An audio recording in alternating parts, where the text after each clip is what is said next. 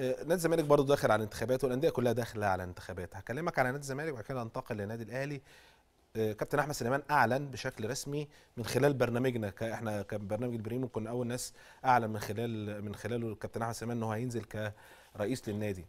في ظل طبعا وجود المستشار مرتضى منصور أيضا في هذه الانتخابات. مين اللي عشان ينجح؟ نبقى واضحين بس يعني عشان بس إيه ما نطحش في الصخر يعني. مع احترامي آه، كابتن أحمد سليمان حبيبي وأخويا وصاحبي وعشرة العمر منتخبات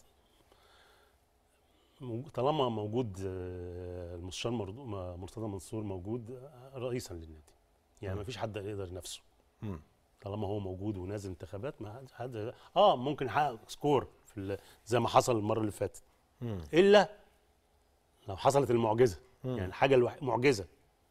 إن الجمعيه العمومية بقى تنقلب. مم. ودي ما توقعهاش. يعني في الظرف اللي إحنا فيه ده ما توقعش فطالما موجود آه، مستشار مرتضى منصور هو رئيس النادي الزمالك مدى الحياة. صعب على كابتن احمد مدى الحياة. خاصة ما فيش في حاجة بقى لا 8 سنين ولا مدى الحياة.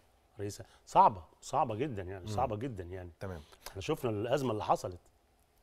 ونفس الأمر في الأهلي.